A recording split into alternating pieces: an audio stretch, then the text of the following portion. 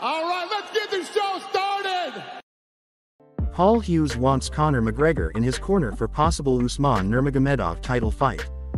Bellator star Paul Hughes wants Conor McGregor in his corner for a possible title shot against Usman Nurmagomedov.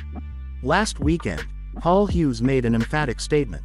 In his battle with AJ McKee at PFL, Battle of the Giants, he was able to put in the performance of a lifetime.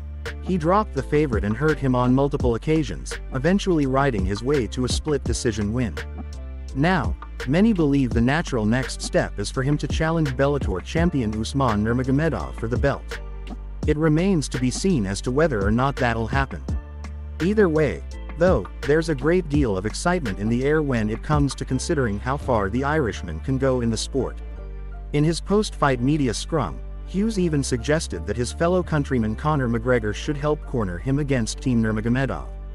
We all know who's next. Usman Nurmagomedov is next, Hughes yelled into the microphone as he arrived at a post-fight news conference. We all know that, right?